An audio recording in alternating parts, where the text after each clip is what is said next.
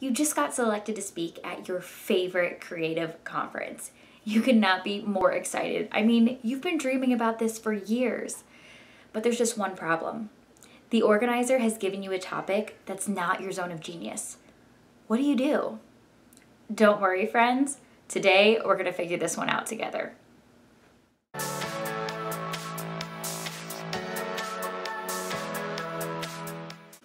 Hey y'all, and welcome back to another episode of Just Ask Jess. My name is Jessica Rasdall. I'm a national speaker, best-selling author, and the public speaking strategist.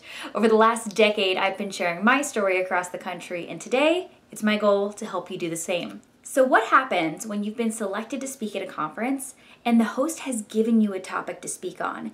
It's not necessarily the topic you would pick. I've been seeing this happening more and more with my own clients. And there's a few red flags that come up for me. One, the first thing we need to think about did you pitch a specific topic? If you didn't, it's time to have that conversation with the host. That might look something like, Hey friend, I am so excited and honored that you thought of me to speak on X topic. However, that's not really my zone of genius.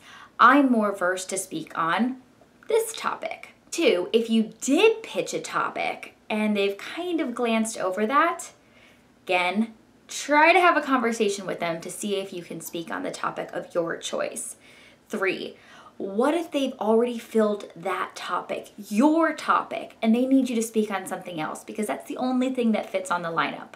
Now the ball is in your court, and you have one of two choices to make. One, if it's a topic that you do not have the expertise to speak on, I'm sorry, but you really should step down. The last thing you want to do is get up on the stage and try to force a topic that you're not well versed in. Our job as a speaker is to deliver value, and if we don't have value to give on that topic, there's no point in trying to fake it. On the other side, if it's a topic that you feel like you have experience on, you could speak on it, it's just not your expertise. I want you to think about how can we highlight the work that you do within this topic. Now, let me give you a few examples here because this seems a little tricky. I know, I get it. I write talks for y'all all the time. so I'm going to use a client as an example.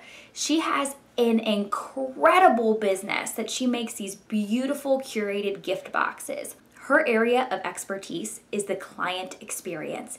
She can speak on that like no other. But she came to me in a panic to help her write a talk because she was given the topic social media. That's not her zone of genius. However, she has built massive online social media platforms organically. So, what we did is crafted a talk that highlighted the path she has taken, the things she has done to build her platforms.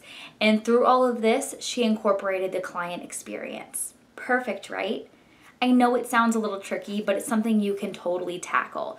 So if you're in a position where you were given a topic that's not the best fit for you, one, have the conversation with the host.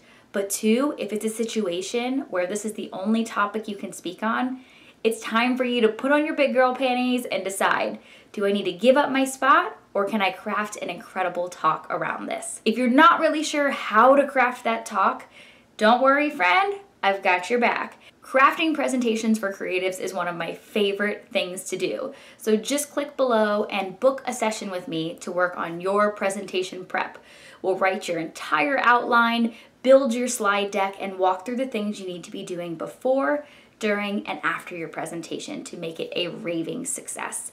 Until next time, we'll see you back here next week for another episode of Just Ask Jess.